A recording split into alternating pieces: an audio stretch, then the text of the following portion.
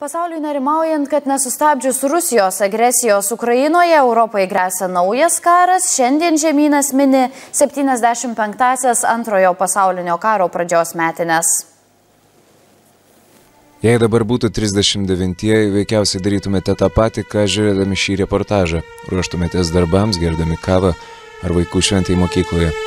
Ir tikrai nežinotumėt, kad prieš valandą ir dvi, be 15.6 ryte, be jokio įspėjimo prasidėjo karas nusinešintis 45 milijonus gyvybių, o dar dešimtis milijonų paliksintis benamiais, ar lemsintis, kad visa rytų Europa dešimtims metų atsidurs po dusinančią sieną.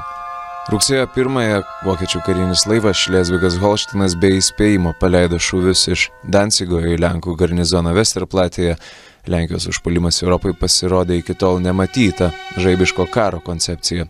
Europa jautėsi rami, nes buvo įpratusi prie kitokios karo formos, panašiai kaip ir dabar. Sovietų sąjungai ir Vokietijai pasidalijus rytų Europą nacijai galėjo netrukdomi per nepilną mėnesį susitvarkyti su Lenkija, o tuomet sukti vakarų link. Britanijos premjeras Čemberlinas bandė susitarti su Hitleriu gražiuoju, bet nugalėti jį pavyko tik jėga.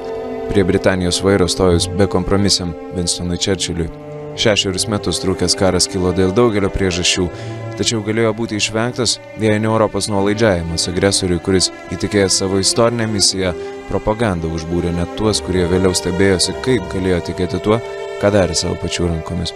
Praėjus 75 metams, Europai šiandien gal net svarbiau prisiminti ne tik antrojo pasaulinio karo pragarą, bet ir apsimestinę daugelio Europos šalių ramybę jo išvakarėse.